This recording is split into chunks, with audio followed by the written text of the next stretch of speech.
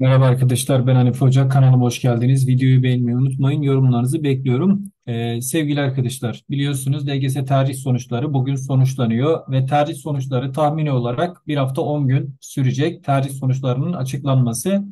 Biz tercih sonuçları açıklanmadan önce e, yani merak ettiğiniz bir konuyla ilgili video çekmek istiyorum. Biliyorsunuz bu konuyla ilgili video çeken belki tek kişi ben olabilirim arkadaşlar. Vardır belki birkaç kişi ama en geniş listeleri genelde biz hazırlıyoruz.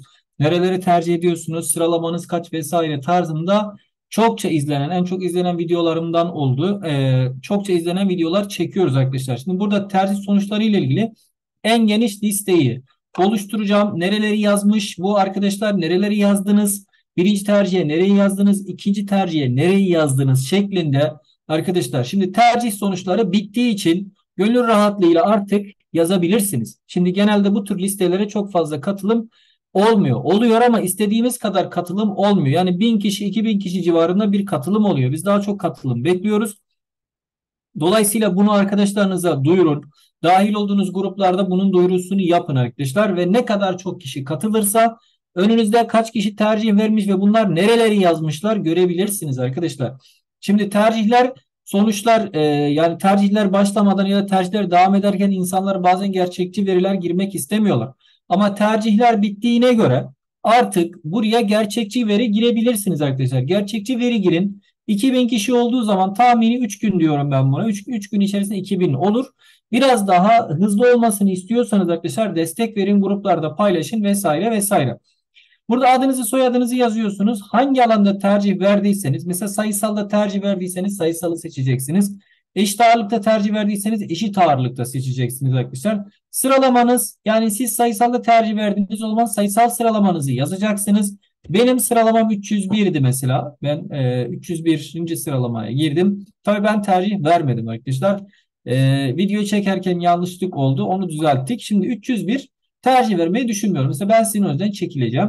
Puanınız arkadaşlar benim 334 virgül bir şeydi. 334 virgül diyelim ki 620 tamam mı? Bakın bu şekilde 6 tane veri girmeniz lazım. Tamam Biz sizden bunu istiyoruz. Sıralamanızı altılı veri şeklinde bu şekilde bir veri girmeniz lazım. Tercih ettiğiniz bölüm. Şimdi bu bölümü yani ağaç işlerimi, endüstri mi işte nelerse arkadaşlar tamam mı? Yani mesela örnek veriyorum. Beslenme, diyetetik, bilgisayar bilimleri olsun. Mesela benim tercih ettiğim bölüm. Böyle bir yeri tercih etmedim ama varsayalım ki bu olsun. Nereyi yazdım? İlk olarak hangi üniversiteyi yazdım? Diyelim ki Acıbadem Üniversitesi'ni yazdım ben. Öğrenci şöyle düşünecek şimdi. E, 301 sıralamalı bir kişi eğer Acıbadem'i yazdıysa 500 sıralamalı biri de Acıbadem'i yazdıysa Acıbadem'in iki tane kontenjanı varsa kişi oranın kendisine gelip gelmeyeceğini anlayabilir arkadaşlar. Yani sonuçlar açıklanmadan siz tahmini olarak ilk iki sıradaki tercihinizin gelip gelmeyeceğini bu video sonunda öğrenebilirsiniz. Bakın tercihlerinizin gelip gelmeyeceğini bu video sonunda öğrenebilirsiniz. O yüzden kesinlikle katılımın çok olması lazım. Çok katılım olursa kesinlikle %95 sonuçlarınızı öğrenirsiniz arkadaşlar tamam mı? İkinci yere mesela ben diyelim ki Adıyaman Üniversitesi'ni yazdım.